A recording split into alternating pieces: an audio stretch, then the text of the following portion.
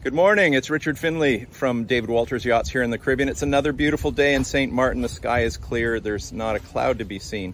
This morning, we're here to look at a 2014 Hylas 49 that's in fantastic shape and extremely well outfitted. There's every accessory you ever wanted for long distance blue water cruising on this boat. She's big, she's comfortable, she's beautiful, she's in fantastic shape. Let's have a look. I'm going to get the camera turned around. We'll take a walk around. You know, for me, it all starts here on the aft deck of these boats. A long time ago, when I was first experiencing center cockpit boats, and particularly Hylases, at that time was like, you know, the 44 class. I just love the idea of the kind of back porch you find back here with these comfy seats to sit out at night as the sun is setting, having a bit of a sundowner and enjoying oneself. But right from here, we can see the kind of fantastic condition that this boat is in. All the stainless is wonderful, gleaming with polish. You can see that the gel coat is in really wonderful, well, well cared for condition as well. As well from here, you can also see that the non-skid is in fantastic shape. Oh, and here is a big boat just gone by to give us a good big wake to make this a little more challenging. We've got a big ocean class life raft for safety. The Magma barbecue here is plumbed to a dedicated 5 pound bottle for your convenience. The enclosure is full with a joiner in between the Bimini and the Dodger. It's also got full sunshades all the way, all the way around the enclosure that will roll up and tie into the Bimini. Up on top of the Bimini, there's 500 watts of solar. We'll see the other panels as we come back aft again. There's another 430 watts back there, so you can power the boat with minimal use of the generator. Here we have hip high stainless steel rails for security. Again, here we see the gel coat is in wonderful condition. Over to our left, we've got big Antel electric winches to help you do your work as well as manual secondaries. The rig is quite impressive, my favorite feature on this particular boat, and I've known this boat for a number of years. I've always admired this Schaefer furling boom. Talk about a way to make your life easier safe and easy, nearly infinite reefing all from the cockpit. Frankly, I've always been a bit of a skeptic uh, of in-mast furling.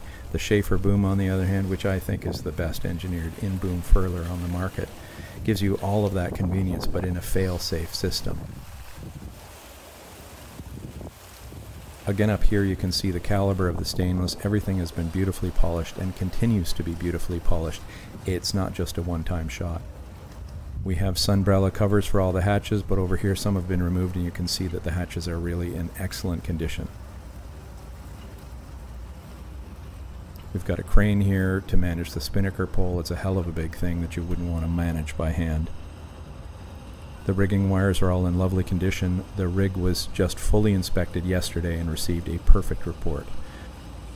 Look and notice the really big Norseman fittings that are here. Here we have some beautiful stainless dorades, some granny bars with hook holes for the halyards up here up in front of the mast.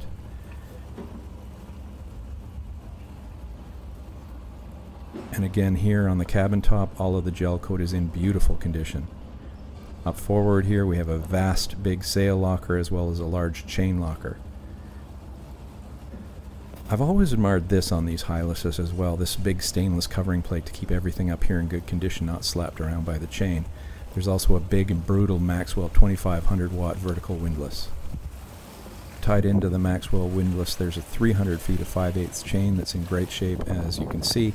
And we've got a nearly new Mantus swivel here and it's further attached to a brand new, never even been in the water Mantus M2 105 pound anchor.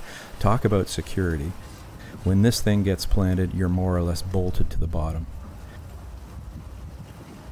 I happen to know the age of this thing because I helped assemble it just three days ago. It's big enough that it's a bear of a thing, even for two men to assemble and install in a dinghy. So you see more beautiful stainless up here. Everything is just polished and gorgeous and wonderful. This great big Furlex furler up here is original the boat, but then right over here, when the current owners acquired this boat, this was merely a removable Solent stay. It was reworked with this Profurl furler installed uh, to make deploying the staysail that much easier.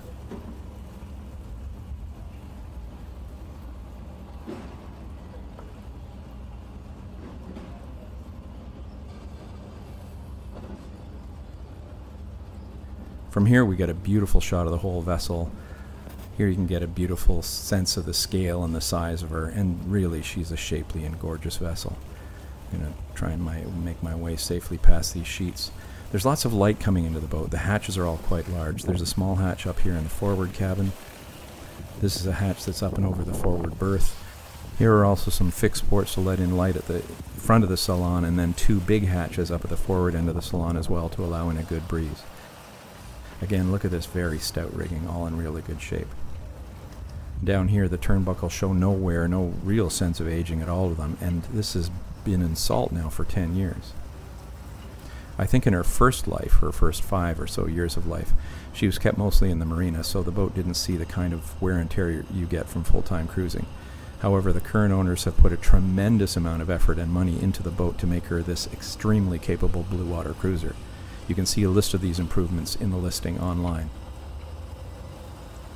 Suffice to say, she's got everything to make life convenient and safe at sea for long term cruising.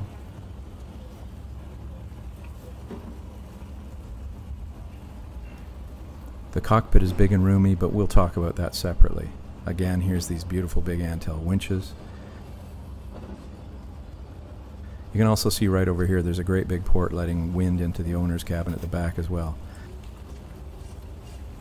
And back here, I'm Canadian, you know, so that flag always gives me a bit of a smile.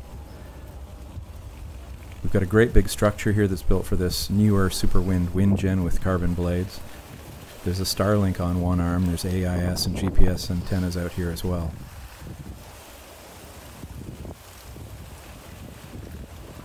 And a feature that I always talk about whenever there is one because I've never had one and I sure wish I did. Here's an outboard crane to make bringing the outboard board so much easier onto this beautiful Edson stainless outboard rack. And here's those beautiful lounging seats again. We have a lot of storage here and a lot of lazarette storage over here as well. And I mentioned at the beginning of the video that we had 430 watts of solar out here on these Kato davits that were installed when the owners bought the boat. These davits are from Kato Marine in Annapolis and they have two Harken winches on here to bring the dinghy up easily in the evening. Oh, by the way, the dinghy that comes with the vessel is an OC tender, one of those cool hard tenders from New Zealand. They are really, really desirable here in the Caribbean. We've also got some security lighting in the back and the regular davit line swinging around.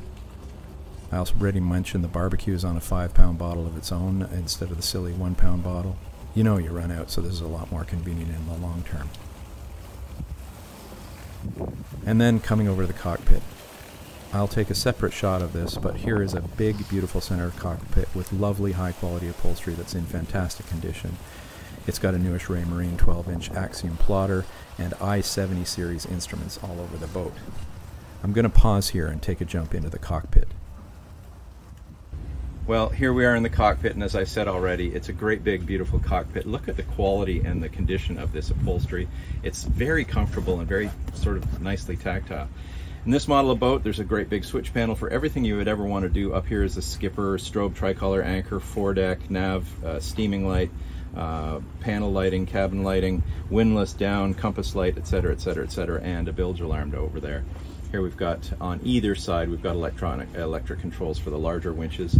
Um, here on the helm, we have uh,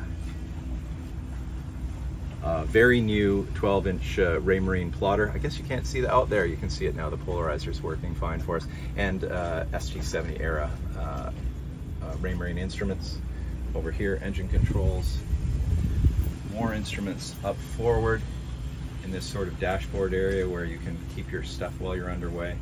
And I've mentioned it before, and maybe it's silly, but to me, one of the measures of a cockpit is how well can you nap underway. As skipper, I don't like to sleep downstairs. I like to sleep upstairs when people are on watch, just so I can be really handy and available. And this looks like a place where, uh, if they'll give me the low side, I can sleep real well while underway and keep rested and safe. Got a beautiful dining table up here. Oops, see if we can get that gimbal around. Got a beautiful dining table over here, folds up, folds out. It's very typical. Um, the surround again, sorry, the surround again is uh, fully complete and it's uh, fairly new. It's about four years old. Nice isinglass everywhere. We've got a divider here, we, so we can take this section, can take this section out and get a lot of breeze through here. There's a, some security lighting up here. Some cushions. Here's a view to the back over there. Okay, well, it's time to go downstairs and see what there, what there is to see on this vessel downstairs. And what I think we're going to see is lots of really beautiful wood. So I've just come down the companionway into this large and very comfortable salon. There's lots of seating space over here on the port side. A beautiful big table that folds out, and and the woodwork, man, oh man, look at the woodwork in this boat. It's so beautifully finished. It's, it glows by itself in the sunlight, or even in, in the shadowy bits, it's got glow of its own. Very beautiful honey color, some nice art. I'm afraid doesn't go with the boat. That's uh, that's a winter souvenir. Here's a nice big uh, uh, banquette that I think you could easily use as a pilot berth if that's on the low side. I think you can probably sleep on the other side if you need to. There's lots of uh, bilge storage in this area, but also um, there's storage outboard here, storage here, of course, storage there. And as we swing around, you see the same thing on the other side. Sorry, I don't want to make you dizzy. There's storage here, storage here, storage here. And there's storage on this little stool here. And there's storage underneath this banquette and that banquette over there. Uh, over and to port, there's a very, very functional um, nav station. Another newish, I think it's from last year, another newish Raymarine Axiom plotter. Um, big switching station there, big power uh, distribution station. Some beautiful nautical clocks. Good quality Sirocco fan. These are from my hometown of Brockville, Ontario. And uh, there's a Color GX uh, Victron system monitor as well as the BMV 712 uh, Fusion stereo system, a really sophisticated ICOM VHF, and more storage underneath the table, more storage in drawers over here, and look at this chair. This is about the best nav station chair that you could imagine, super comfortable and very safe. So that's the nav station. If we continue, oh, if we continue to turn to the left, this gets us to the bathroom, sorry, the aft head from here. And I'll talk about uh, this part when we get to kitchen or galley as well. So let's go ahead and move forward. This is the base for the mast here. So this is a different layout. Many of these 49s are a three cabin layout. This is instead an owner's Pullman layout. So there's a great big, uh, super comfortable looking Pullman berth here. Lots of light coming into the boat from ports here and ports here, air and light and a big hatch up above the head. Um, turning around slowly again so as to not make you too dizzy. We get to, I'm gonna have to show this from up here. We get to this very large, uh, here it is. Oh, look at beautiful woodwork here. Just beautiful. Look at the layers and layers and layers of varnish that have been polished in there.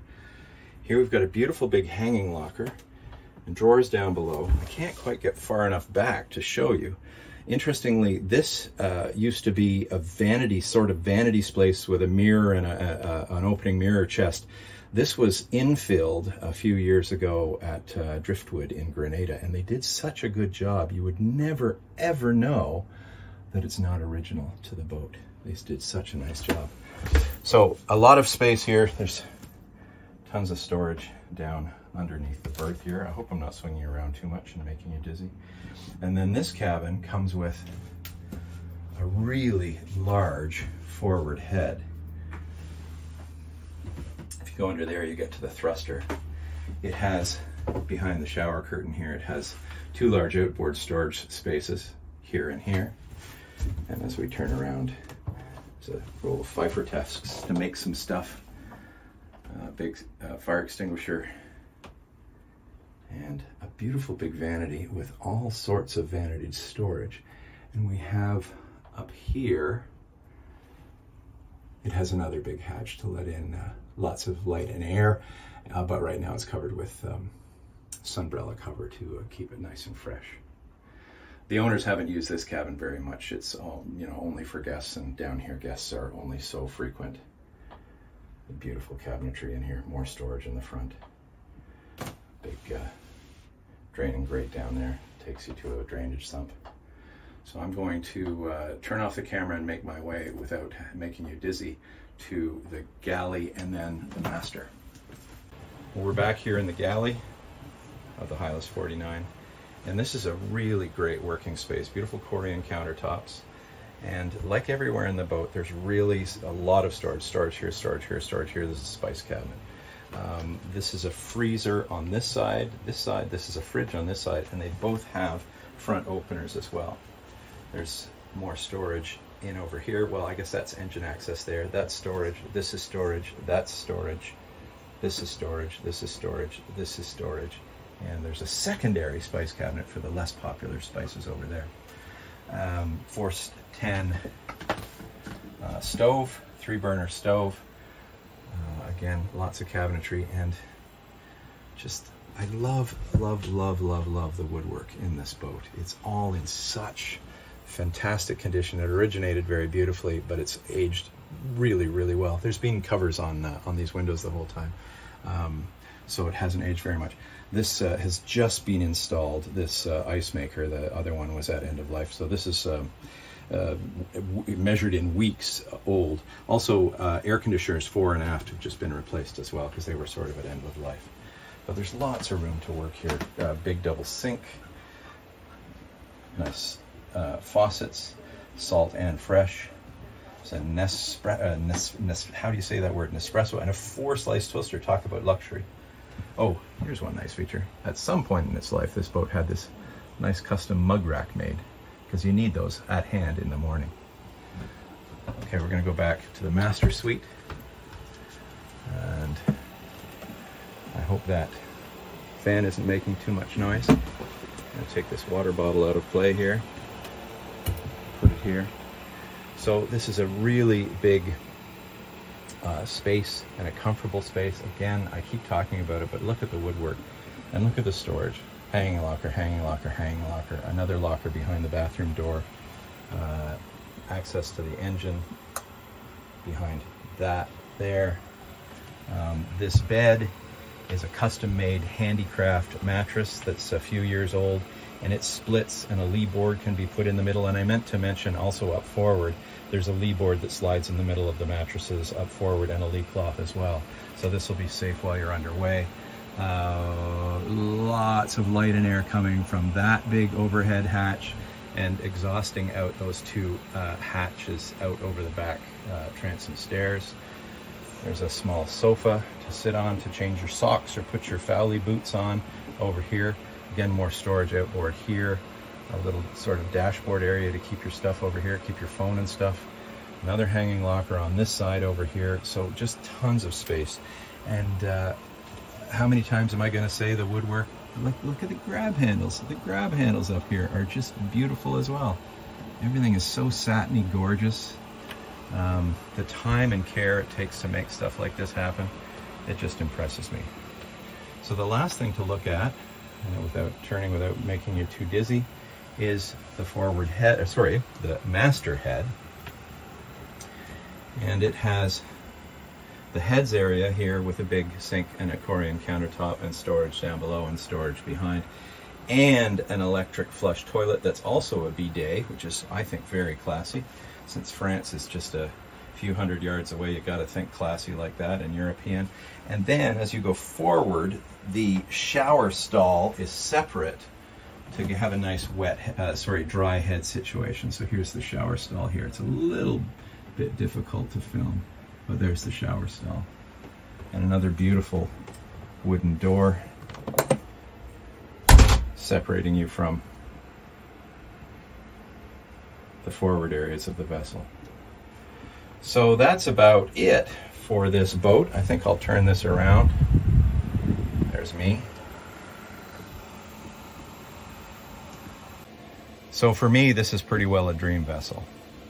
49 feet of extremely well built, really well equipped, um, blue water, ocean going, safe, capable, quick sailing vessel.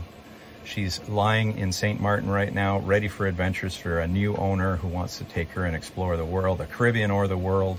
Um, she's got years and years and years of life left in her, so any sort of adventure you can imagine is up to you to, uh, to follow your dreams. You can call me at the numbers that I'll put right down here. I'd really like to hear from you. I'd really like to show you this boat. She is a gorgeous vessel. Thanks very much for watching.